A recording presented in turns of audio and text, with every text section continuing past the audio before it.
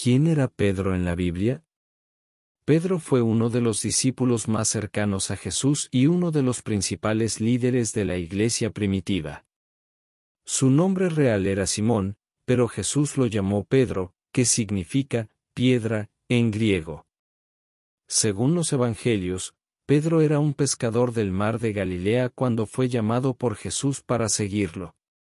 Junto con Santiago y Juan, formó parte del grupo íntimo de discípulos que Jesús llevó consigo durante su ministerio. Un líder en la iglesia primitiva.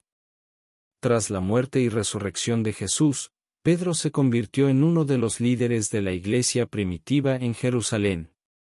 En el libro de los Hechos de los Apóstoles se relata cómo Pedro predicó el mensaje de Jesús y realizó numerosos milagros en nombre de Cristo.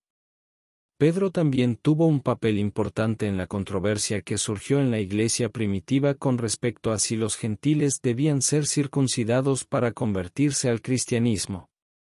Pedro recibió una visión de Dios que le mostró que los gentiles eran considerados limpios por Dios, poniendo fin a la controversia. La negación de Pedro. Aunque Pedro es recordado como un gran líder y apóstol, también es conocido por haber negado a Jesús tres veces durante el juicio de Jesús.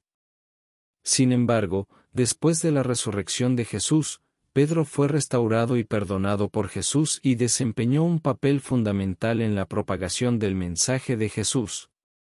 En resumen, Pedro fue uno de los discípulos más cercanos a Jesús, un líder en la iglesia primitiva y un gran defensor del mensaje de Jesús. Aunque cometió errores como cualquier otro ser humano, su fe y dedicación a Jesús nunca vacilaron y su legado sigue siendo recordado y admirado en todo el mundo cristiano.